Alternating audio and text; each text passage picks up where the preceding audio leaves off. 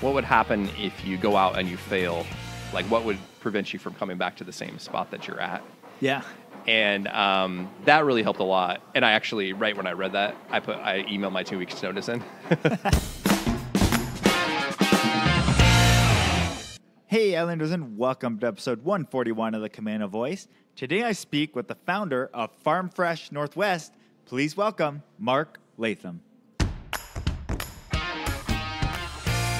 Hi, I'm Brandon Ericson, and you're listening to the Camano Voice podcast, where I interview local business owners, comedians, singers, and more. I dive into their backstory to find out how they got where they are, what are some of the tips for you to do the same, and find out where they are going. Tune in every week as I interview more of the people you see every day. Hey, Islanders, and welcome to another episode of the Camano Voice, where we release a new episode every Tuesday. How's your guys' week going?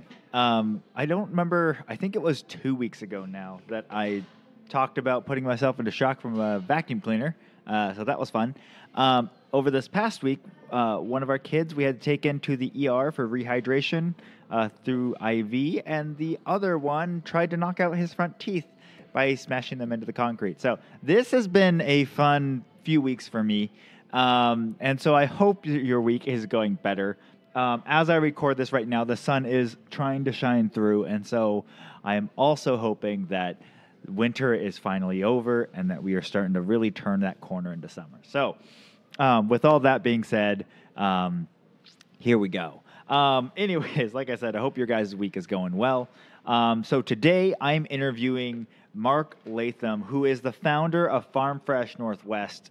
And uh, if you haven't heard of them, uh, they are a meat delivery um, company. They deliver fresh ground, well, ground beef and steaks and all sorts of other meat options directly to your door. Um, and it's actually delivering meat that their family, not Mark's family, but his extended family, uh, produce um, from their own beef and um, other animals that they slaughter. Um, and it's just an extremely high quality, um, delicious meat that um, you can get delivered straight to your door. Um, so you don't have to worry about going to the grocery store for it. Uh, you don't have to think about it because I don't know about you, but for me, a lot of times I will um, end up going to the, you know, being like, oh, a steak sounds great, or, you know, we want hamburgers tonight. But then you don't have the meat with you, so then you've got to go run to the store and, and hope that you get good quality and all that stuff. Um, they take care of all that for you because it delivers straight to your door. Um, and throughout this podcast, I was like, I'm getting hungry for a steak. That's what I was thinking about. So, um, but uh, he goes through um, kind of what a lot of business owners go through. He he talks about this whole evolution of um, basically working in a day to day job and doing that, and then eventually coming to a point where he's like, I feel like I could do this on my own and do well. So why don't I do that? And finally, kind of hitting that wall of being like, I'm just going to go out on my own. Um, and so, it, it, you know, I always find that fascinating. These people that have grown businesses from nothing uh, and turned them into a very successful business. Uh, and especially when it comes to great products and good meat. Um, I love meat, so I'm always up for that. Um, so um, we get into all of that and more. A lot of the business lessons he had to learn along the way. Uh, some of the personal growth he had to go through to become who he needed to be to be able to run a business like this. Uh, and uh, yeah, and kind of where they're going from here. So we get into all of that and more. Um, and stay tuned because at the end of the episode, I will have a promo code um, that you guys, my listeners, can use to get a, discount on your first order. I think that's how it works. Um, and so be sure to look for that. Uh, it's also going to be in the show notes, so um, be sure to look for that. Um, so, anyways, without further ado, here's my conversation with Mark Lathim. Hey, Islanders, and welcome to another episode of the Camano Voice. Today I'm here with the founder of Farm Fresh Northwest. Welcome to the podcast, Mark Lathim. Thanks for having me. Really Yeah. appreciate it. So, before we get started, tell us a little bit about Mark. Well, uh, I grew up Eastern Washington, Okay. um, about two miles from the Snake River, and uh, my family homesteaded there, uh, 1900. So Wow. we've been there a long time, and uh, grew up there. Didn't really know anything different, and um, but it was nice. We were a long ways from town, which is unique. Um, Yeah. about 25 minutes to where I went to like middle school and high school. Wow.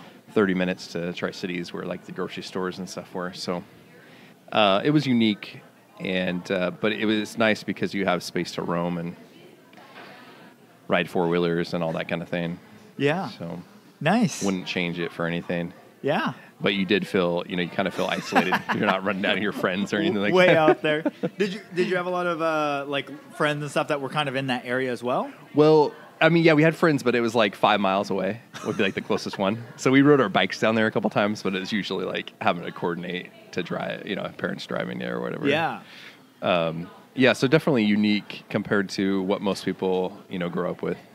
But yeah, my my grandpa farmed wheat there, and uh, it actually went into CRP, which is a preservation program, crop reduction program back in the 80s when I was two. So I didn't really get to um, experience the entire, you know, harvest season and, Okay. and all that. But he still had cattle and, and pigs all while I was growing up. And Yeah. So we kind of got that side of, the, of farming. Yep. But- Very cool. And you said, I think on your website it says uh, the farthest records you guys have is like 1904 that you guys homesteaded there. Yeah, I think. Uh, well, I'll have to check with my dad. I, I think it. I think I put in 1904. I think it might have been 1900. I'm not 100 percent sure. Okay. But it's been. I was the sixth generation. Wow. there. Um, and so uh, I think it was my grandma's um, grandparents and possibly their parents that came out originally. That's crazy. Like Yeah. it's it's rare to find hundred year old homesteads in this area. Right. Yeah. Well, I mean, Washington was only you know 1889, so um, Wow. yeah, there's just not that much history here compared to if you go back east. Yeah. Um, Wow, that's so so cool. yeah, it's unique. Awesome. Do you guys have like family stories and stuff like that that you have that's passed down from generations or Yeah, there is a little bit. Um, I've kind of been more curious, you know, the last few years and asked my grandma questions before she gets, you know, too old to uh, recall everything. But um, yeah, it's just a, you know, a lot of the things that they did. Oh, I, I asked her when they got air conditioning a couple months ago, and um, because the summers are so hot there, you Yeah. know, getting over 100 a couple weeks out of the year, and uh, she said that they got it uh, after she got married. So it was like in the early 60s or late 50s. Okay. And so all growing up, Oh, and I was like, what did you guys do to get out of the heat? And so she said they would just like sleep under, outside under the tree or go down into the basement. Oh. Um, but people were definitely much tougher Yeah. back then. I mean, it, I can't imagine living in 100 degree weather without any AC to re- go to Yeah. and and then they would ride down and the horses uh, they'd get water out of the river for their animals Mhm. um, and so they would drive down there in the wagon and then they jump out in the river to Okay. cool down um, Wow. so stuff we take for granted you know Yeah. is um, yeah it's pretty amazing how resilient they were to just live in the desert and put up with that Yep. That's awesome. Um, and so you're you've got like you said your sixth generation of living there. So you planning on continuing that on long term eventually? Well, no, I mean we we're over here. My wife's a West Sider, so I'm I'm uh you know we're at Stanwood out by Lake Goodwin. Um, my grandma just moved in to a nursing home, Okay. and so one of my uncles is still there, but nobody. We were the last. My parents were the last ones to kind of move off, besides my grandparents. Okay. Um, And so I don't know if there'll be another generation that goes back. Yep. But my my dad and um, uncles and aunt are planning on keeping the land, so Okay. that is uh, that's a good thing. Nice. Very cool. So, um, so uh, growing up, then, what was it like for you growing up? Uh, like quite a ways away from school, but like, do they did they still have buses out there, or did you have to drive get driven in? Yeah, so and through third grade, I went to a one room schoolhouse that was only like three miles away. Okay. Um, and so that's the actual district that we were in. It's called Star District, Star School District. Um, they had their own buses. Okay. And so like they were all like the short buses. Uh, we would go to school, but they would also take us into um, middle school or high school and you could either go to Kahlotus, Connell, or down to Pasco. So you Okay. had three choices because there was no middle school or Okay. high school within the district. Yeah. Because it was like one room schoolhouse, 12 kids or whatever, K through six. So Yeah. um, yeah, first three years at the at Star, and then and then I went into Connell, which is a, you know, it's still a small town, but it's like 3,000 people. And Okay. Yeah, so it was like you know 25, 30 minute bus ride to school, and you know longer coming back because we took the other kids would go home first, but you get a lot of time to dream and uh, do your homework. Yeah. if, you- if you didn't do it at home. Um, yeah, I, I didn't mind. We we were so used to driving everywhere. Yep. You go to church on Sunday; it's twenty five minutes. Um, school, uh, anything in town, grocery store, um, twenty five or thirty minutes away. Okay. So it was just normal for me. Yep. But it is much different than what most people, Yeah. you know, are used to. Yeah. Very cool. So, um, as you're growing up in kind of this environment, were you, what were you thinking as a kid? Were you just planning on continuing on like what your parents and grandparents had done, or were you looking at other opportunities or different things?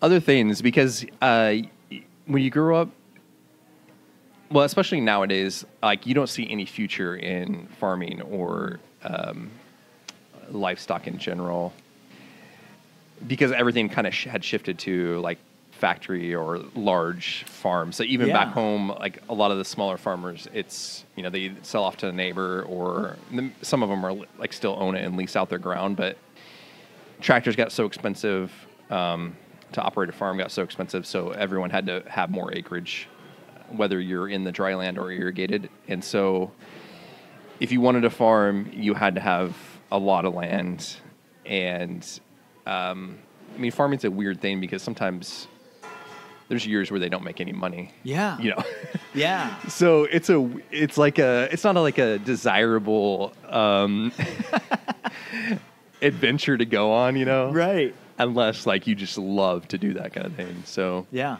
um yeah so yeah there was no like thought of it was always like you know it's great to grow up here. We showed pigs at the fair had the livestock um but it was never like oh i want to you know expand this or grow this. Yeah. because it wasn't like an opportunity or you didn't see an opportunity for that. Um and i think part of that's like growing up in the you know, I was born in 86, so growing up in the 90s, early 2000s, everything really shifted strong towards um, the big supermarkets.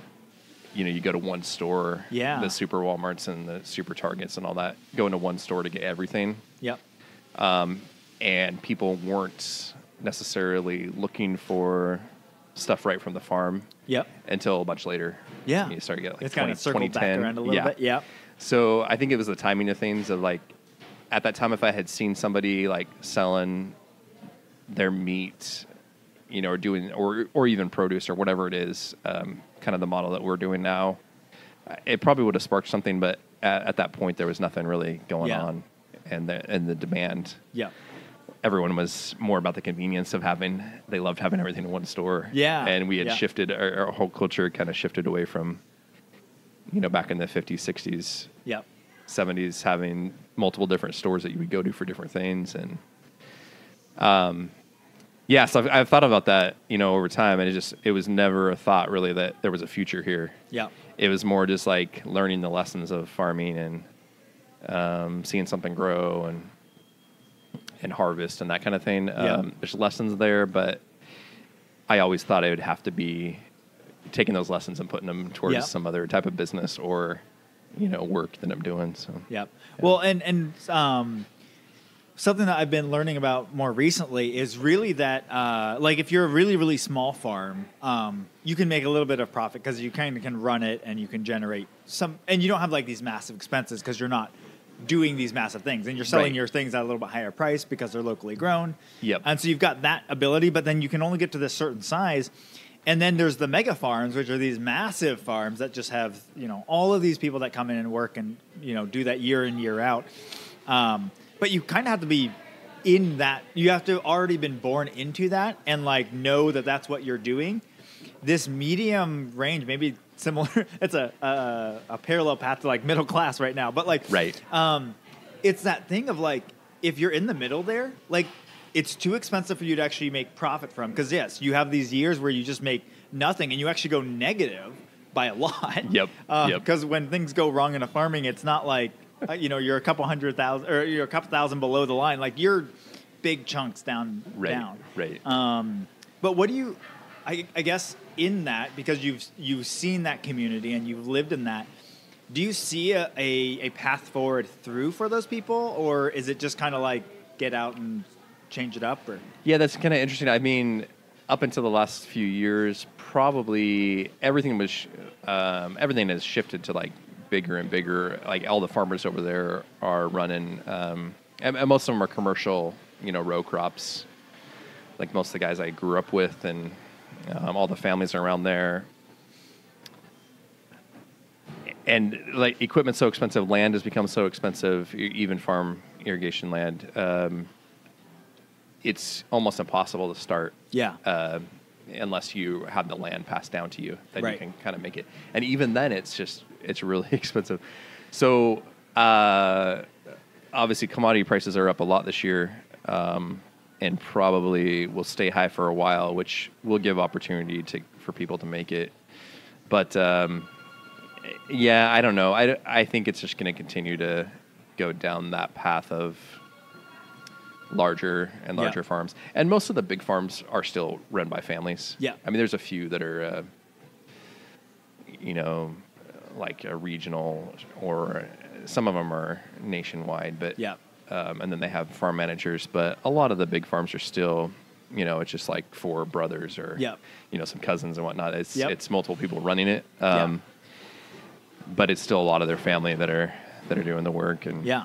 and running things. Um, yeah, that's a good question. I I mean, it's hard to say, but I think it's going to go continue to be. It's going to be the bigger farmers, but at the same time, there's room for people to carve out niches Yeah. um, and go straight to consumer. If you know how to sell uh, and market, you can you can make it on a on a smaller scale. But the medium scale is probably the toughest thing to do because you're caught in that middle of Yeah. selling things wholesale, like the Yeah. big guys are.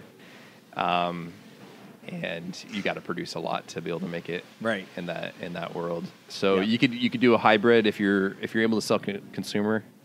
You can kind of live in both worlds, Right. And have that consumer side still fund you, but um, or you can be smaller and do everything to consumer.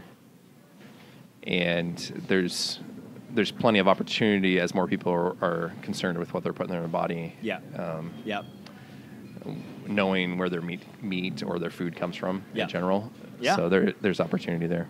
very cool. So then, um, coming to that realization, then, um, as a as a kid, then what was it that, what did you end up going for in college then?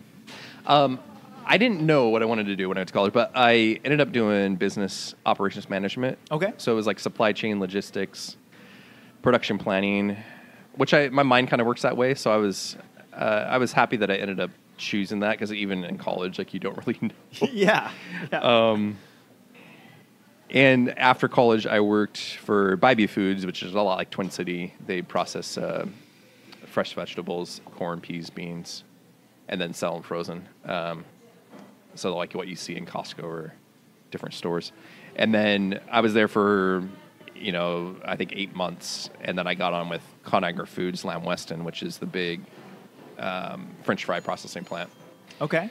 and uh, or plants. They, they are the number one producer in the world of French fries, um, and that was a good experience. I I enjoyed being around food. Like I'm a foodie, Yep. and I was able to kind of use my degree a little bit. Yeah. because it was a lot. It was production facility, so.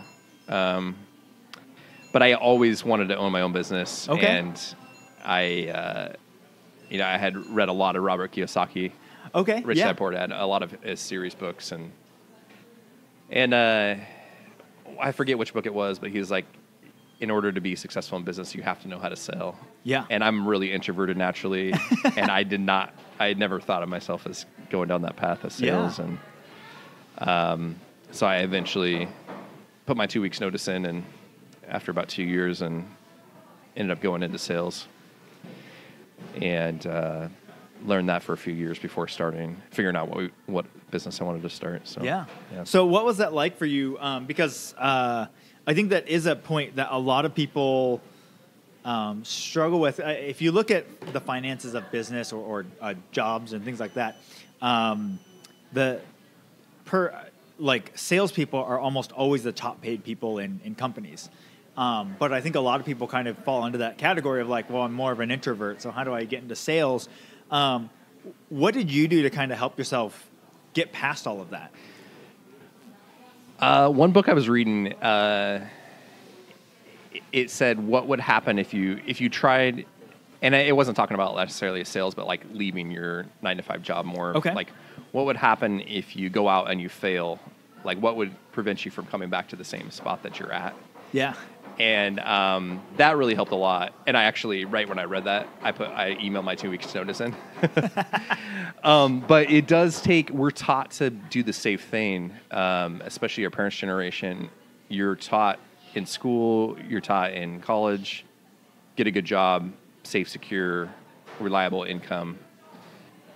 Um, put your money in your 401k or pension or whatever it is. Yep. And and then retire Yeah. And so we're taught to go down that path Right. and so it's really hard to step away from that and outside of that Yeah. um, Well, in that generation, that's what they did. Like you look at our generations, just a couple back. Like that's what they did. They stayed at the same company for like forty plus years. Yep. Would retire, and now they're living off that. right and it, and it worked at that time especially because there was pension like every company had a pension so Yep. it made sense to stay in one place um, and it doesn't now um, but yeah it was a lot of it is just you got to take a risk and be willing to willing to fail. And really the worst thing that can happen is you go bankrupt. And a lot of people are scared of that. I had a Yeah. friend that had gone through that um, he started a business. One of the guys I actually went to learn sales from or sold sold with um, and it's not the end of the world you know? Yeah. so if you're not afraid to um, take some risk and be willing to worst case scenario and kind of run that through your head uh, like i could go bankrupt um, if i'm not successful. And at the end of the day it's not it's not going to end your world to go bankrupt. You can just restart. It makes it a little bit harder but um, i always felt like we're in america and we had the freedom to do what we um, what we want to do with our lives. And so i couldn't live with myself just going and working for somebody else for the rest of my life Yeah. when we have the opportunity to Yeah. to go build what we want to. Right. And so um, I always kind of felt that inside. Like I I got to at least try. Yeah. You know, and then if you don't if you don't make it, you can always go back and and and go back to work. Yeah. Make a living, but Yeah, and I Um, think I think yeah. what you're saying there is really important. I think a lot of people. Um, that was something my dad would always tell me is like, well, what's the worst that can happen? Like, just get to that, and and um, you know, and I've read it in more business books now. It's like a lot of them will actually tell you like, no, like not just say like, well, this is the worst that can happen, but like play it out. Like exactly. when you play it out, you remove a lot of the fear inside of it, and Yep. and then you're like, okay, so absolute worst case scenario is I go bankrupt and this is what happens.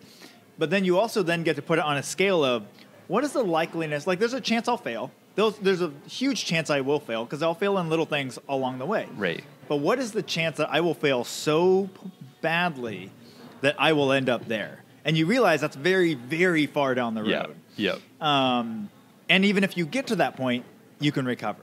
Yeah. So once you start to break down fears and it's not an unknown, Yep. it makes it possible to actually push through that. It really is. And I mean, the fear of failure is the biggest hindrance for everybody. Um, and when I got into sales, you, you know, it's talked about a lot because you're. Uh, I, I was knocking doors selling home security, Okay. and uh, you're facing failure every day, dozens of times. Yeah. So it's a mind game the entire time. Um, and but it only takes one. You know, you make pretty good money, even with just one sale in a day. So um, yeah, it takes. it- It's a lot of mental strength, and and that that was the most influential. It changed my life because it stretched me a lot. Just talking to people all day was exhausting, when you're introverted, but I knew I needed to do it, and um, and what I learned from it, if you can sell door to door, you can you can you can really do anything. Yep. Um, you can sell anything. You can uh, do anything. You're treated you're treated terribly by a lot of people, um, but it's good because it you know makes you tougher. Like Yep. you can face anything, um, and then and then you just learn to overcome objections, overcome fears, and everything on a qu- on a quick scale, and um, and and then just you know that when you do have a success, like you're meeting somebody for the first time ever, you're a stranger on the door, and then 45 minutes later they're signing a you know three year contract or five year contract or Yeah. whatever, and um, you've built up a ton of relationship. You know, a lot of times people open up. Uh, you know a lot about them; they know a lot about you in a short amount of time, and Yeah. just being a build a relationship or build um, camaraderie or uh, uh, report, build a rapport in a quick amount of time Yeah. is really a really valuable lesson that you can't just learn Right. anywhere else. You know, Yeah. it's so it's it's helped a lot. Yeah. Um, probably the most out of anything along the way. Yeah. So so after you were as you were selling these things and um, you got to that point where you felt like you had enough confidence and everything, what kind of drew you into the the direction to start Farm Fresh Northwest? So I always, uh, my sister married a farmer in Eastern Washington, back close to home, and um, they had an asparagus stand, and and they and they sold other things. Uh, ended up turning it into like a fall festival, but um, I always thought like, man, it's so nice that they have like uh, product like right from the farm to Yeah. sell because it like after you know it takes a lot to sell. I did home security and solar. It takes a lot to be, you know to convince people to move forward with either of those things. Yeah. um, like you're pulling teeth, and then and then they like you're at an asparagus stand and people are just like driving up because they want you know asparagus that's picked like that day Yeah. Um, or or any products from the farm. And I was like, ah, it'd, it'd be so nice to have something like that, like that you produced or whatever um, that you could sell. And I it never even clicked that. Um, you know, my grandpa's had beef for so many years. Yeah. and I never think about that as like a, a valuable item because it's just what we grew up with. We didn't know it was special. Um, yep. and but then um, so my wife i think we were engaged at the time and her parents uh, wanted to um, get a half a beef because they hadn't done it in a lot of years and so they got it and then and then um, to them the flavor was incredible you know Yeah. and i didn't know that it was like you know people in the city or or uh, people that haven't had from the farm in a while um, Yeah. you forget like the, what the flavor difference is Right. and so that's kind of when I got it clicking. And then a friend of mine had talked about his family kind of doing something similar to what we do. I think they were shipping, but not delivering. But um, that's kind of when all those three things kind of came together. And they're like, oh, we should, we do have something special. Uh, we should start a delivery, you know, to, to deliver it in small Yeah. quantity. And there was a few, um, a few people in Calif. We were in California selling solar at the time. Uh, there were some companies down there that were doing or farms that were doing produce delivery, a lot Yeah. like Klesick does here. Okay. Um, and they're like, oh, nobody's doing meat. You know, a lot, lot of produce ones were popping up, Full Circle and all Yeah. these different ones. Um, nobody's doing meat straight to the door, and it's like maybe there's a reason why nobody's doing it. like we feel like it's a good idea. Everyone we talked to thought it was a great idea. Um, and so yeah, we started probably about a year, year and a half, like ahead of time, like working our way to get back up here and, and get it going and figure out how to make it happen. Um, yeah, Nice. That's kind of the journey. So what kind of uh, so you guys started working on this idea that this could maybe work and stuff. Um, but you said you were down in California, so then you had to like figure out is it worth it to move all the way back up? Because I'm assuming you guys had your life built and kind of right right down yeah there. and it was it was like we got to save enough money to like have some capital to get going and and uh, we wanted to get back up here um, and i knew i knew when i got into sales it was only to learn sales to build a business. Yeah, um, and i had been in it in about four years or three and a half years before we started but um, yeah our goal was to get back up to washington because we're both from here and and um, be able to have grandparents around starting a family and those kind of things. Yeah, so that part wasn't hard. It was just more like uh, having capital ready. How quick can we grow it to be able to sustain ourselves? And um, So I dr- we did a few things when we started. We drove Uber and Lyft, and I still sold some solar and Okay. and home security uh, to sustain ourselves until we could build up a big enough customer base to to live off of, basically. So. Okay. Nice. So then, what was it like? Uh, I guess, um, how did that work when you approached your family about this? Yeah, they were all for it. I think uh, I think a lot of people. Well, every time I tell my grandpa, he uh, like, oh, we have like 50 customers now, or like 100, and and I you know update him, and he just like couldn't believe it. So he kind of loved he he was the one in the family that was like more of the sales a salesperson at heart. Um, even though he farmed, but he like he sold. Um, well, with cattle and pigs, you're selling in general, but he had uh, like a trailer dealership, so he would sell stock, Oh, tra- livestock trailers and Yep. horse trailers, that kind of thing. Um, so he was always kind of in that in that realm. So I think it he kind of lived through what we were doing. Um, yeah, so I think probably most of our family just doubted that it would work, you know. Yeah. But, um, but they were all, you know, they were supportive, and my parents and and in laws are super, super supportive um, through this whole time. Um, loaned us, you know, small amounts of money at times to help us, you know, in different different stages. So Yeah. we couldn't do it without family, but um, but yeah, I don't know how many of them actually believed that we would um, be around, you know, five and a half years later, be successful with it. But Very cool. um, yeah, I, I just remember my grandpa every time I would update him on how many customers we had, um, he would just be shocked at like they want meat, you know, to their door, like they can just go to the store. I was like, yeah, but this is special. Yeah, it's just um, yeah, just interesting to see that. Yeah. So then, um, once you guys got everybody on board and you decided to start start the business stuff, how did you guys start growing it then? Because you guys started zero, right? Yeah, started zero. So all I knew with sales was how to knock on doors, and Yep. so I just started with that because it was it was free. It was just my time and gas to get to a neighborhood or whatever. Um, yeah, my wife grew up in Edmonds, so I, I think the very first neighborhood was just one of the uh, kind of where close to where she grew up in Edmonds, and then I picked up a freezer from a um, you know off of Craigslist or whatever. Uh, I think I got two freezers to start our business, like to yeah, store the meat inventory Yep. And um, it was in a neighborhood in Bothell, and I was like, "Oh, this looks like a really good neighborhood." Like, he's like, as you as you knock doors, like over years, you you know, like just by the look of neighborhoods, Yep. you know, is this, um, and uh, yeah, so just like looked like a good neighborhood, pretty dense, where you can get to house to house pretty easily. So I started there, and that's really like, I mean, even now we still have a lot of customers in that very first neighborhood that I knocked. Um, so I just started there and just kind of expanded from there. And it worked really really good for deliveries because all our customers were in like a two mile radius. Yeah. And so we just had one delivery day for you know for a long time. And we I actually sold uh, solar.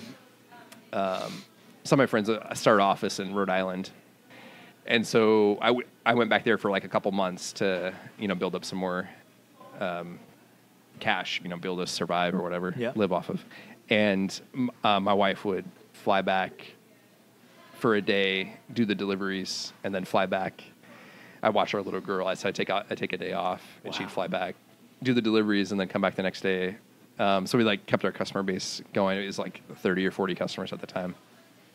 Um, yeah, so I think the first year and a half I just knocked doors. Okay. And then we started, we decided to try some events and we did the Puyallup Spring Fair. Yep. And because I was like, I would get like one or two people signed up a day Yep. knocking, but Yep. it's so it's slow growth. Yeah. Um, and the wintertime's hard. It gets dark at five and 445. Yep. Um, or if it's snowing or raining, it's just hard to be out for long. Um, or harder.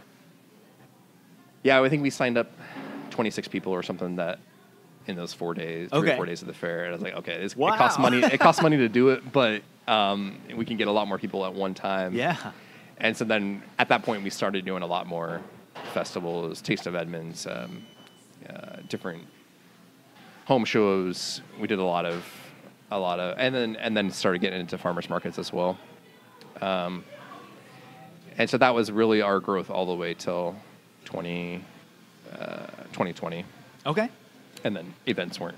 Yeah, yeah, you events know, weren't going on. Shut down. So Yeah. So then, Yeah. uh, as you guys were slowly growing this through events and things like that, at, um, like, it's one thing to have 40 customers that you can all run through in a day or a couple days, but like, what happened when you got to that breaking point? When yeah, too many? I mean, I was just like working all the time. So, um, yeah, I would put I would put packages together. It- well, we had we had our all our deliveries on like the the second week of the month, and then I think we added the first week of the month or third, one of those two. So during like those two weeks, my life was just like constantly. So I'd like I'd go do deliveries. I will put pa- packages together, go do deliveries the next day, and then I come home, and then from like six or seven until like one in the morning or two in the morning, I'd be putting packages together for the next day, and then like just restart. So, um, and then we didn't have like we have a really great system now for like inventory and orders and all that.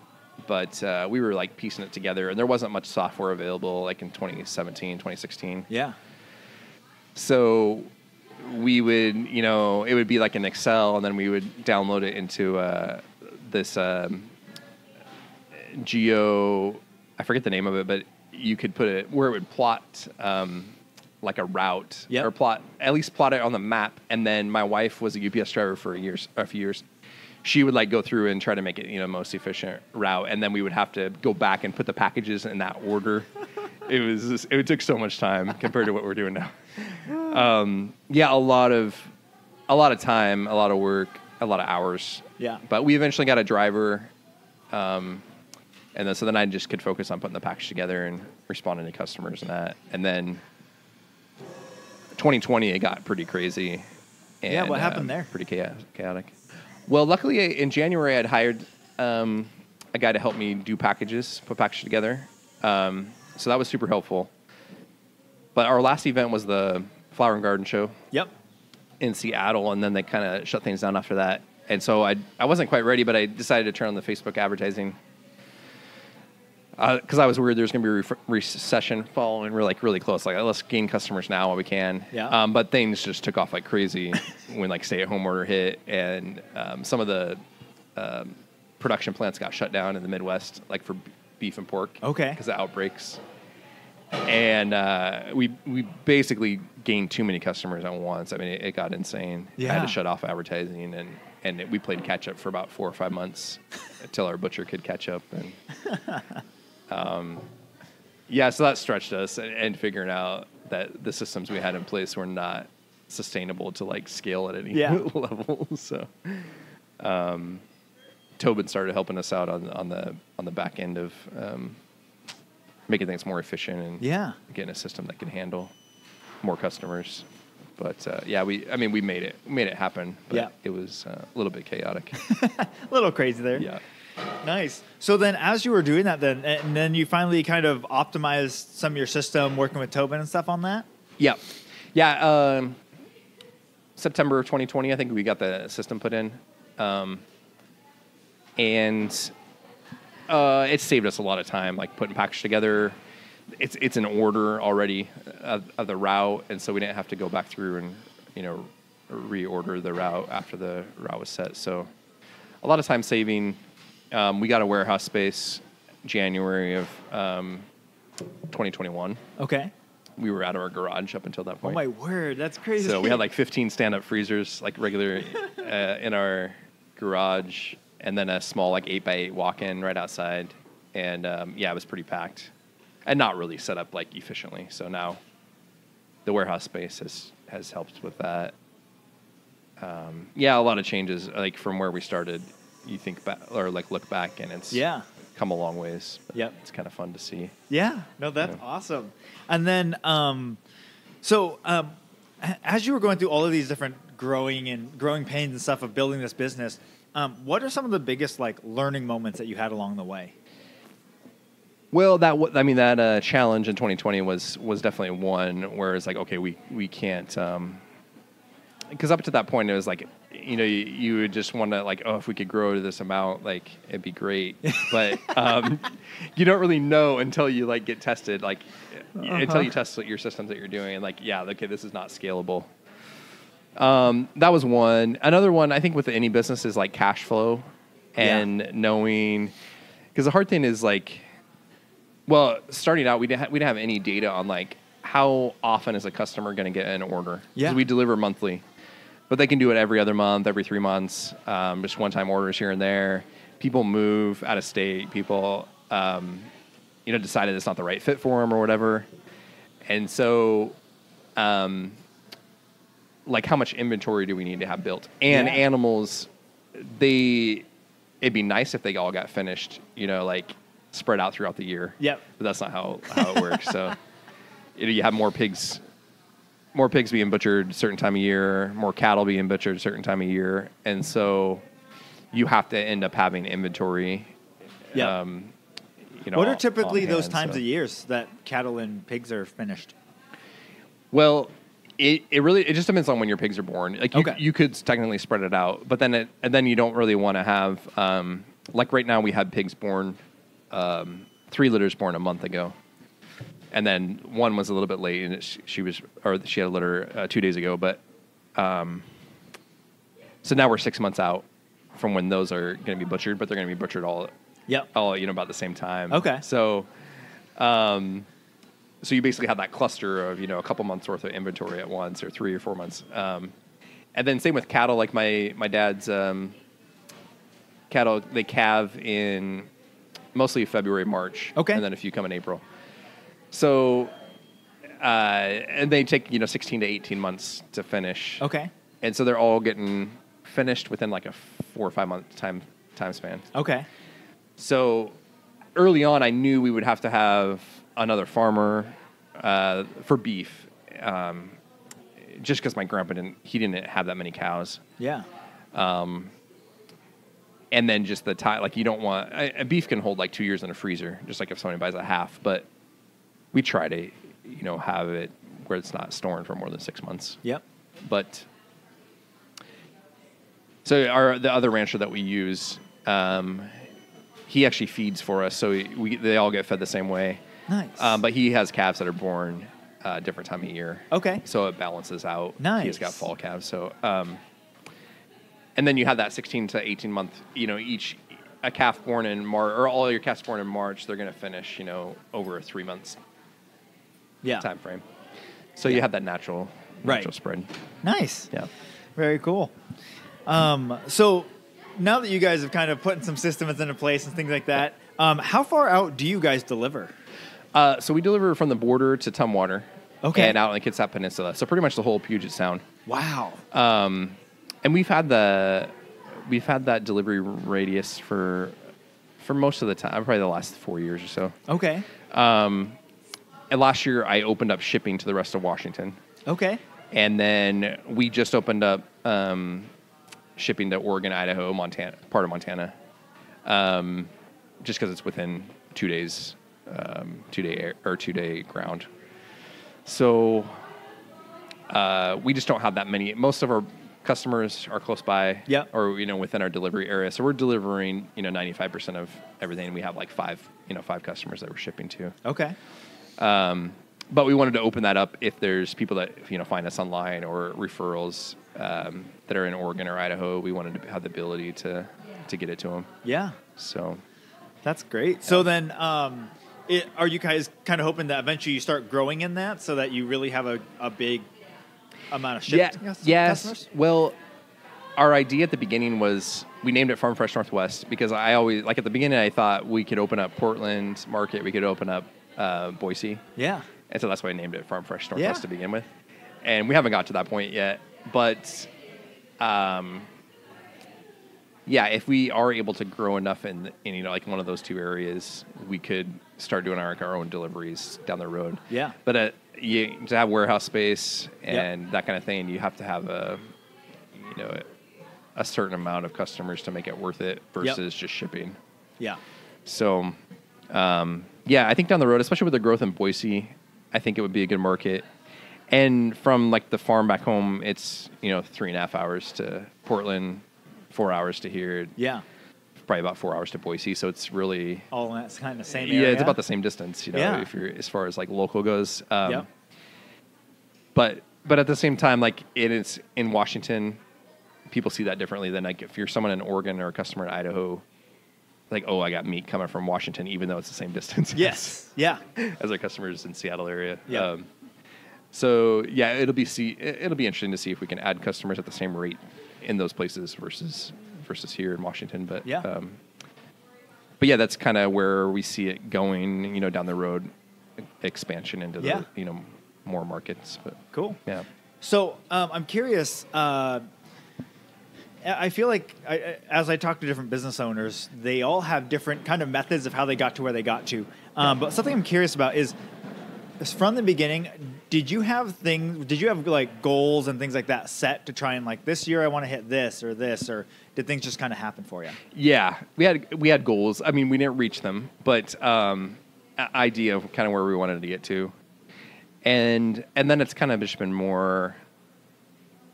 I'm not afraid to try. Like I've tried a lot of different marketing or advertising type of things, Yeah. or ways to get customers. So, uh, like this last year, we did radio, which I never thought I would try, but I wanted to just see like what it would what it would Well, do. and the price of radio Yeah. has gone down, Right, On a lot right. of them. So, So, um, yeah, there's just different, and, and it's changing too. The markets change, um, and like with COVID, all the events were canceled, and so we had kind of gone down that path.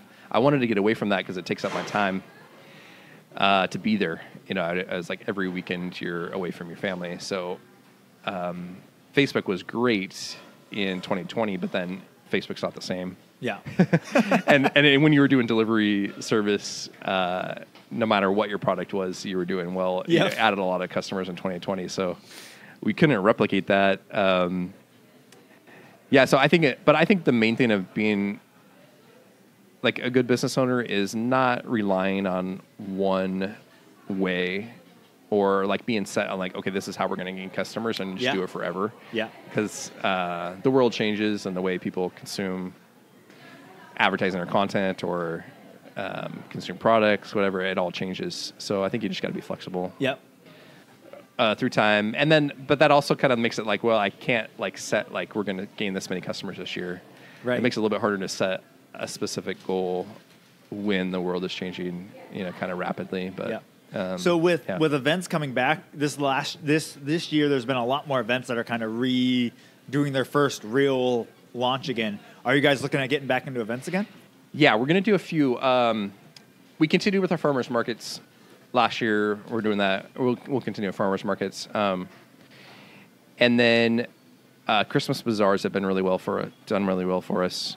Um, I've kind of like looked at just the cost of different events Yep. and the amount of customers we can get. So kind of narrowing it down to the most like cost effective events and um, and a lot of them you have to sign up like six months in advance. Yes. And so Yep. I was hesitant for a while to like make sure that people were actually going to come out Yep. to events before you spend that revenue. Yeah. Um, and I let people like TJ and other. Uh, I get I get uh, information from other business owners Yeah. On uh, like how the events are, Yep. and I've I've done that like once we started events, I would ask people like what what other events are good. Yep. And it's so much easier to learn from other people Yeah. mistakes or or successes um, than to spend money and and figure out like oh there's like nobody at this event or Right. it's not the right type of um, Well, clientele. And, so. and events are so weird because like I've I've worked the San Camino Fair. We used to do frozen explosion stands there. Yep. And so it's so weird. Like you're so dependent on weather, and it can't be too hot and it can't be too cold. Yep. And Yep. like just what else is going on in that area that weekend that like maybe has never happened, but then they're like, oh, we're gonna start another event that is Right. happening like in the next town over, and so like events are just such a wild card. Yeah, it is. It's really hit and miss, especially if it rains. Yeah. Um, Or like one summer we were like, them. it's gonna be sunny, it's gonna be sunny, and then it was like a like 95 degrees, and Yep. like Yep. no one was there because they were saying warnings on the Right. the news like stay home, and like no, yeah, it is an interesting thing, and and um, and certain time of year, like in the wintertime, there's only like the indoor like home remodel shows and Yep. home shows, which have been good for us, but they're also really expensive. Right. Um, so it's like, do you want to put that revenue out there and um, and the time to be there? Yep. So it's kind of balance that and and uh, and then just trying different things that are out there. Is there another way to gain customers at a more reasonable cost? Yep. So I think that's always things you're going to Yep. constantly um, look at as a business owner.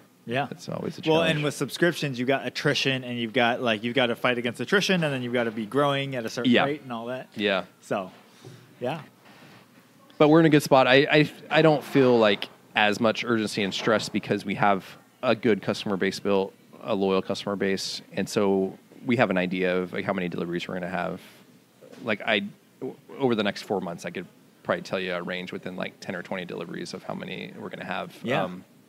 And so it's nice to know like to have that kind of consistent baseline. Yeah. and then um, and then obviously you want to keep keep growing and and expand business no matter what type of business you're in. But um, there's not as much um, not as much stress now as the first you know, three or four years.